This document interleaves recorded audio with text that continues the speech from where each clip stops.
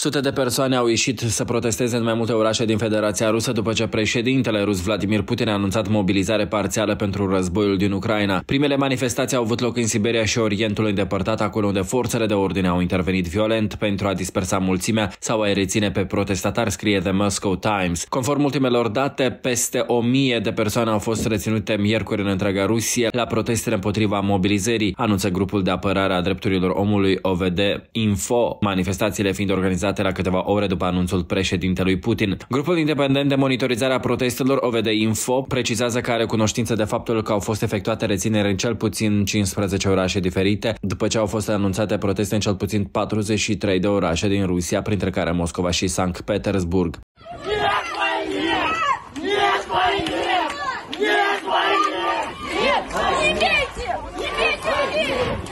Нет Войне! Нет войне!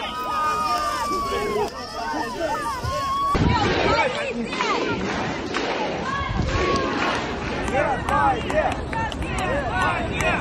Нет войне!